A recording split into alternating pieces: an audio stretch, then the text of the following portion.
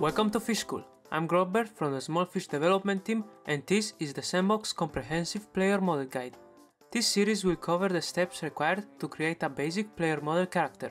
As the title implies, we will not be glossing over any detail, and I promise that by the end, you will have a strong grasp of S&box's modeling and animation tools. Plus, the concepts taught will easily carry over other engines. All files will be provided in the descriptions to follow along. We will also be including chapters so you can easily navigate through the video. Due to the ever-changing nature of S&box, some parts of the guide may become outdated. If that happens, I will leave a pinned comment. So make sure to check for a pinned comment that will explain what changed and how to fix it.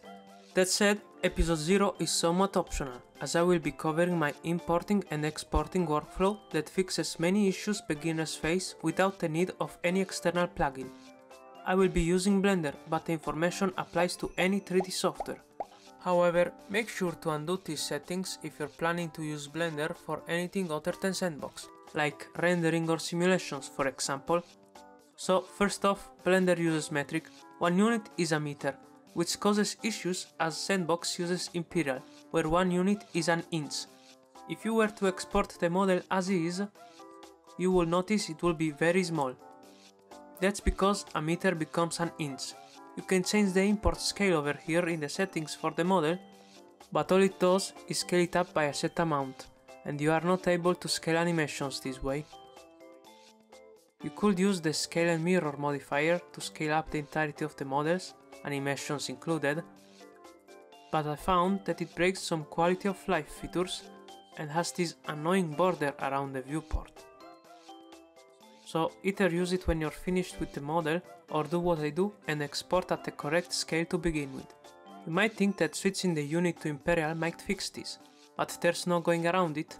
The default FBX exporter only exports with metric. So instead, we'll be switching the unit scale to 0.0254. Setting the scale will mean that every model imported and exported will be in inches while keeping the unit in Blender as metric. I think now is a good time to learn some very important magic numbers you'll be seeing a lot when working with metric and imperial, those being 2.54 cm in an inch and 0.3937 inches in a centimeter. In the previous step, we set the scale to 0.0254, which is the number of meters in an inch.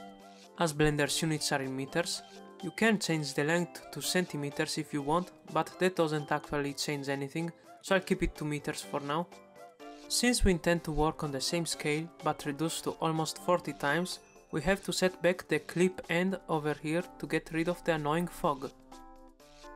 Clip start is set automatically when changing the scale. I like to set it closer, but you can choose not to. Mind you, you have to apply this change throughout all other workspaces, like modeling, sculpting or texturing.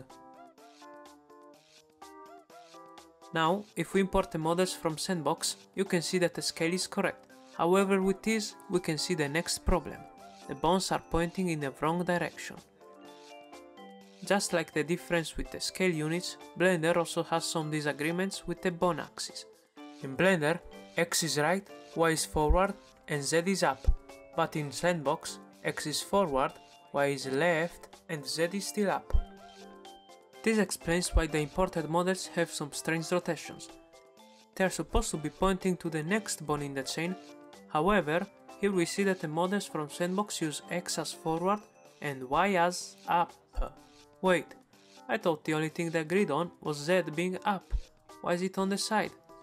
Well, for most cases, it doesn't really matter which is up. The only axis that always matters is forward. When I first started the player, I used Y as up as I used the Citizen for reference. For some reason, if you check the Half-Life Alyx models, Valve 2 uses Y as up. This is despite the engine literally telling you otherwise. In the future, and as well as in this episode, I will set it so that Z is up, but be mindful that in the series I'll be using Y as up. Here we have our player in Blender with all the bones just the way Blender likes them and since we can't just switch which axis is forward, we'd have to correct it whenever we export or import. Side note, the three main file formats used in S&box are, in order of usefulness, FBX, DMX, and OBJ. FBX has become a standard for S&box, it can store multiple meshes and animations in a single file.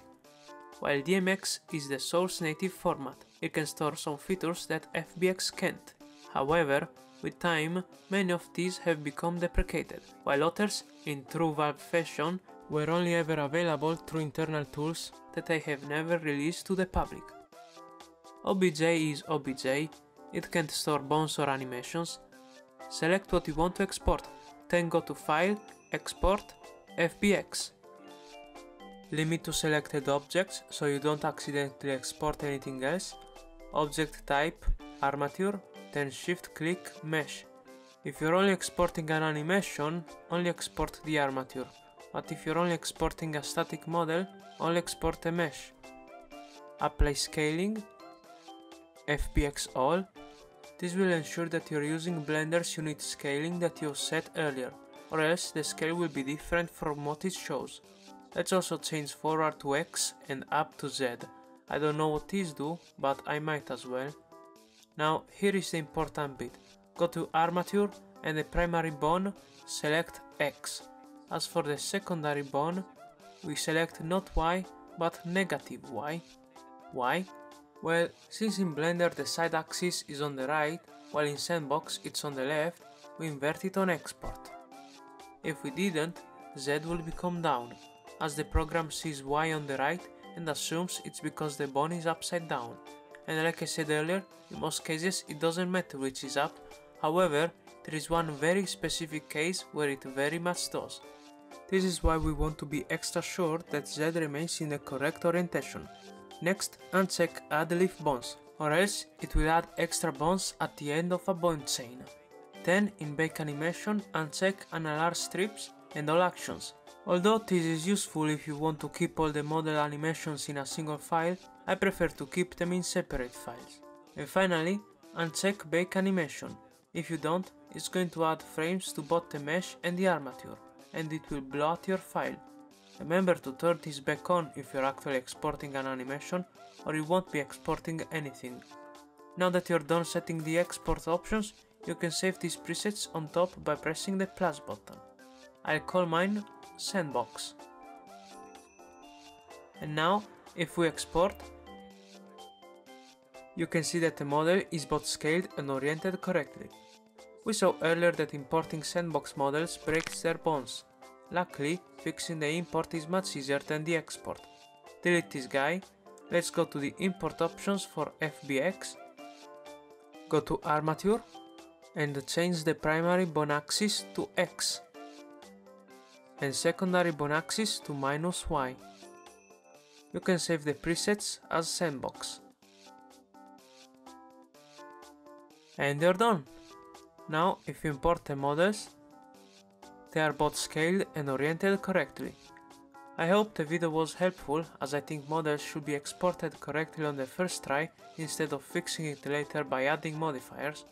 Do note, however, that these are just my personal settings and my opinion on how to handle the differences between engines and programs. There are many ways to compensate, so if you have a suggestion for corrections, let me know in the comments. With that said, we'll see you next time on episode 1. Have a fantastic day!